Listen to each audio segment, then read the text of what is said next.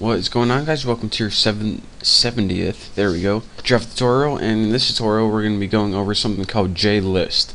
Now what JList is, is it's pretty much a list for your GUI, and when you click on one of the options, we can make an event happen, such as, in this case, switching the background color. So let's go ahead and get started. If you can't tell, I imported one more thing here.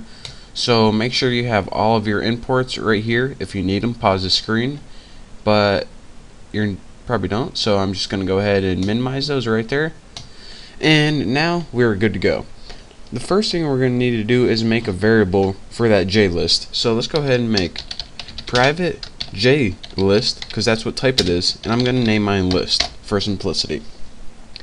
Now after this what program we're going to be making is we're going to have a list of colors and when you click on one of those colors it changes the background.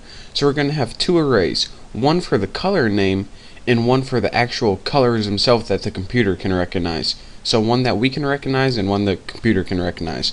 So let's go ahead and make our first array um, just the color names that we can recognize. So it's going to be private static string. It's just going to be the names of the colors.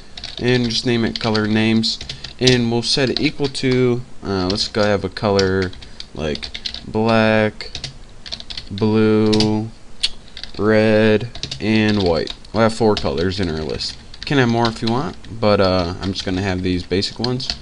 And make sure to put them all in quotation marks like this. And then in your line with a semicolon bam you're good to go.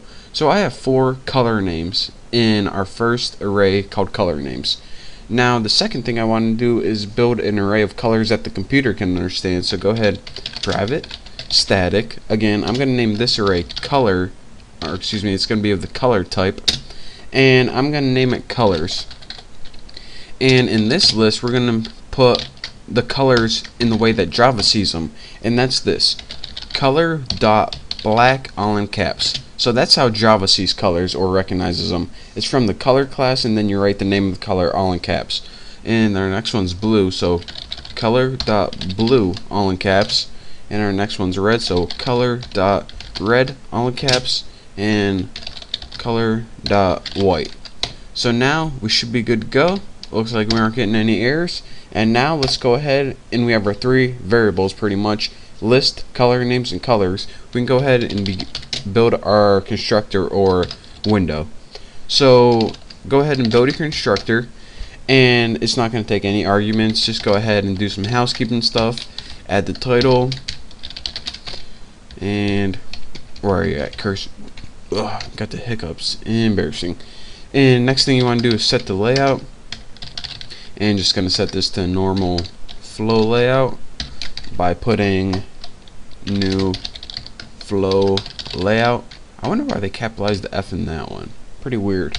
And don't forget your empty parameters. So now we have a title and a layout. Now we can go ahead and start messing with our list. The first thing we want to do with our list variable is actually create something. And what we need to do is create a new JList. And the parameter JList takes is an array of what you want the person to see. And we want the person to see the color names is the options. So let's go ahead and just write color names in here. Um, you don't need it in uh, like quotation marks or anything like that. So now we have a list and it pretty much is just a list of color names. What we want to do now is set how many rows or pretty much the height of the list. So go ahead and take that list and put set visible there we go row count right there too easy and what this is, is how many options the user can see by default. Now, if you put like, they can only see four, but there's like 10 items in a list, a little scroll bar is going to appear on the right. But since we only have four and we put four, then it should fit just perfect. Um, the next thing you want to do is go list set, uh, what's called, S selection mode. There we go, right there. Set selection mode. And for the parameter it takes is this. Some lists allow you to select one thing or another thing, and some lists um, allow you to select multiple items. The one we want to use is we only want to be able to have a single selection at a time.